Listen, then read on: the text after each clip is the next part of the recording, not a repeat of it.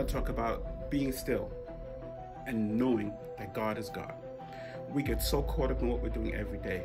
We have problems, we have issues, uh, we have bills, we have so many things that, that's going on. And before we know it, we've lost years, decades running after these problems, but yet the things that are most important for the uplifting of our soul and to feeling good about ourselves are lost. And I will look at this, this problem that, that we have through the 23rd Psalm.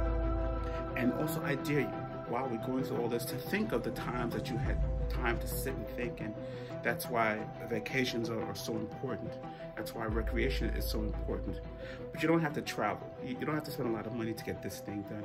All you need to do is know how to sit quietly in a room and rest and let your thoughts come to you. And David speaks about these things in the 23rd Psalm. And he says, The Lord is my shepherd, and I shall not want. And that is a problem for us because sometimes we're not being led by God, but we have all these things that we think we need, that we want. And when we are in the situation of, of wanting, could it be that we have not stopped and used the power of stillness to, to sit down and to see how God may lead us to, to still waters, to, to greener pastures? And when David spoke about these things, he, he mentions he mentioned uh, something that I think that we, we miss or I have missed. And he spoke about how, how, how, how, blessings shall follow him all the days of his life. And when I read it in, in, in the Hebrew context, what it means that they shall chase him, that they shall that, that they shall be in pursuit after him. That means that that while we think that things are chasing, that while we're running the rat race, it, it may be that if we just stop and be still, that the lessons of the Lord that have been chasing us, been after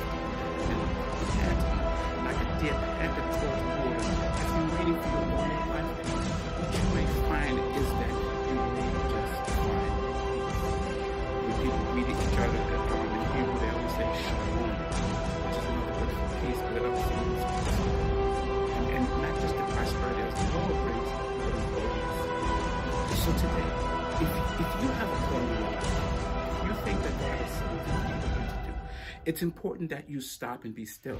How else are you going to hear about the direction? How else are you going to hear about, the heart? You see, because it's not what's outside of you that's going to give you what you need, it's what's inside of you.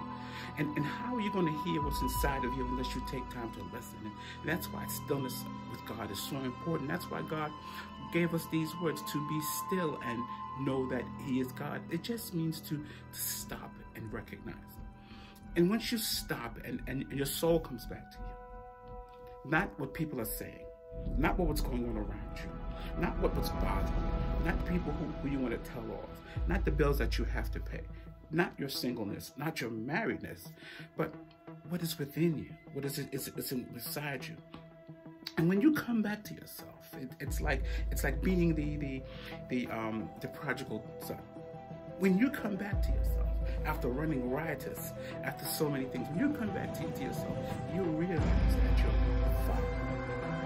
has so much more for you. And you go back and think about the Lord is that when you stop and you realize just how much He has for you and, and how much you're running after things have brought you to a place where you're in a pigsty of sorts. When you come back to, to the Lord, it's an amazing thing. And sometimes we don't want to come back because we are concerned about the shame and, and, and how it might look like Naomi when she came back in the book of Ruth and she said, don't call me Naomi, call me Mara. We have to come back because we have to really believe that, that, that God is greater than our shame. God is greater than our needs.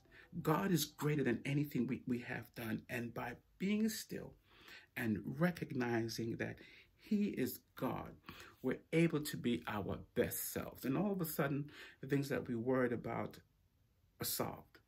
It's, it's like being Moses and worrying about how, how he's going to get the thing done. And God tells him, what is it you have in your hand? And you realize that all this running around that you had the blessings in your hand. Or it's like, it's, it's like being, I'm sorry, it's, it's, it's, it's like being, it's, it's like being Abraham and then realizing that, thinking that he has to sacrifice his child.